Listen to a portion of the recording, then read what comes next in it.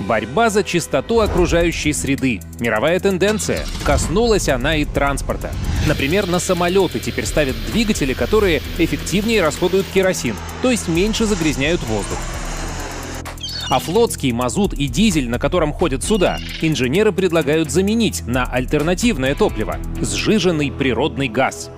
Из э, ископаемого топлива это, наверное, самый экологичный вид топлива. Количество оксидов азота меньше процентов на 85. Ну и главное, нету практически серы.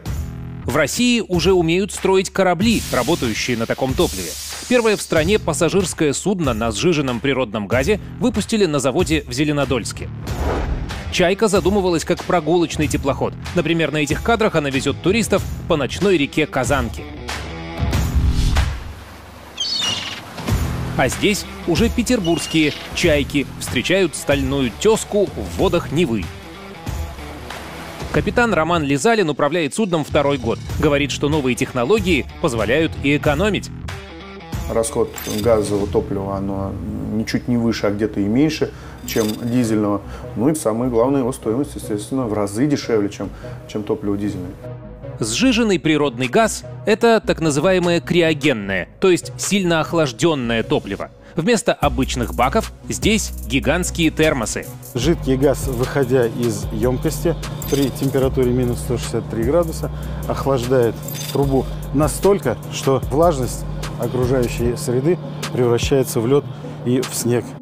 Сейчас на борту около 8 тысяч кубометров газа, но занято им меньше 14 кубометров пространства. Чистая физика.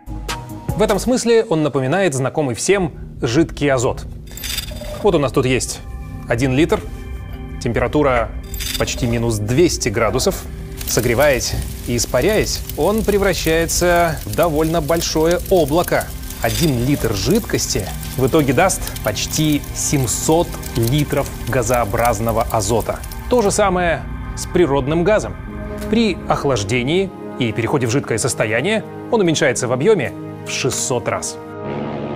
А это пока единственная в России плавающая заправка со сжиженным газом. Бункеровщик «Газпромнефти» Дмитрий Менделеев – он может перевозить в криогенных емкостях почти 6 тысяч кубометров топлива в сжиженном виде.